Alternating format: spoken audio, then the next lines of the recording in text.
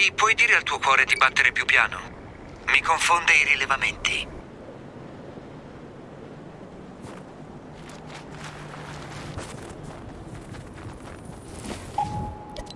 Io ho avuto i dati, tu hai fatto esercizio. Ottimo, no?